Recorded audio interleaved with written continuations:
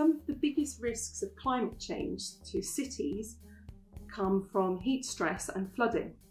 So in the DARE project, we've been trying to improve forecasts of these types of high impact weather and flooding events using unconventional sources of data, things like CCTV, observations from private cars, air traffic control reports and so on, alongside scientific observing networks. And what we do is use those data in a data assimilation algorithm which optimally combines the, all the data types with a model prediction to improve the model prediction. DARE is the result of an EPSRC fellowship in digital technology for living with environmental change.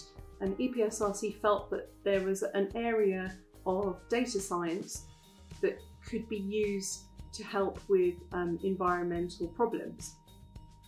And the idea of the fellowship was to try and bring two communities together from the data science side and from the environmental science side to, to really see if we could come up with some new solutions to environmental problems. So the new solutions that we've created in DARE have involved bringing together novel types of observations from crowdsourcing, so for example CCTV, observations from cars, observations from air traffic control reports, and a range of other different observation types to use them alongside scientific observing networks and combine them with numerical weather prediction models and numerical flood prediction models to produce better forecasts.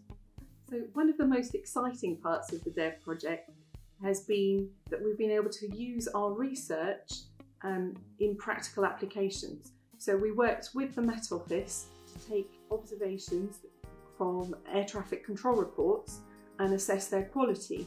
And now the Met Office are using them in their operational system, producing forecasts each hour, every day of the year. So as part of our funding from EPSRC, we were allowed to fund external collaborators in pilot projects. And one of those pilot projects was a virtual reality video that was called Inundation Street that showed people what it's like to be in a house as it's flooding and gave them some tips on how to protect themselves and their property. And that has been posted on YouTube and it's received nearly 2 million hits. Well, I'm really pleased that DARE is going to leave a legacy, both in terms of new scientific techniques and new mathematics in terms of understanding the uncertainty and quality of observations from these data sets of opportunity, crowdsourced observations and so on.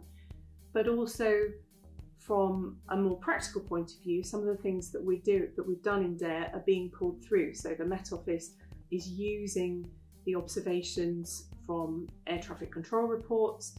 They are using some of our techniques for um, understanding observation uncertainty in general to improve the treatment of radar data observations in weather prediction over the UK.